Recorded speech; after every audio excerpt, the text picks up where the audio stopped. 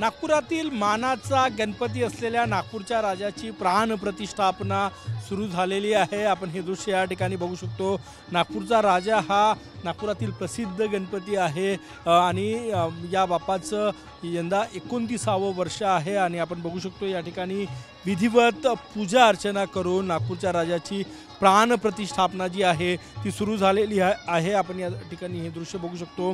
नागपूरच्या राजाच्या दर्शनासाठी दहा दिवसात लाखो भाविक या ठिकाणी येतात अनेक व्ही व्ही आय पीज या ठिकाणी येतात. मग केंद्रीय मंत्री नितीन गडकरी असो प- उपमुख्यमंत्री देवेंद्र फडणवीस असो सगळे नेते या ठिकाणी दर्शनासाठी येत असतात.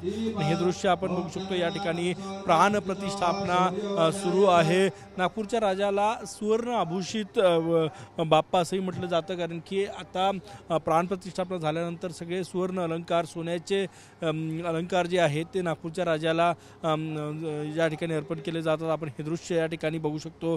नागपूरच्या राजाची प्राण प्रतिष्ठापना जी आहे ती या ठिकाणी सुरू आहे. विधिवत पूजा जवळपास आठ वाजतापासून आठ साडेआठ वाजतापासून ही विधिवत पूजा जी आहे ती सुरू झाली.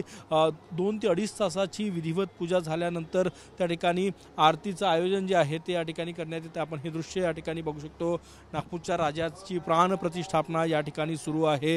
एकोणतीसावं वर्ष नागपूरच्या राजाचं आणि दरवर्षी हजारो लाखो भाविक या ठिकाणी दर्शनासाठी येत असतात. वर्षभर ज्या क्षणाची वाट पाहत होते लाडक्या बाप्पाच्या आगमनाची तो क्षण आलेला आहे आणि नागपूरच्या राजाची प्राण प्रतिष्ठापना या ठिकाणी झालेली आहे. कॅमेरामॅन सचिन सयामसह गजानू माटे युनाईन नाईन मराठी नागपूर.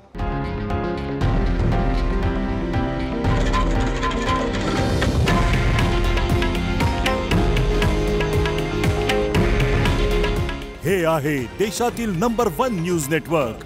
आणि आपण पाहत आहात टी व्ही नाईन मराठी. काळजी तुमची हित महाराष्ट्राचं.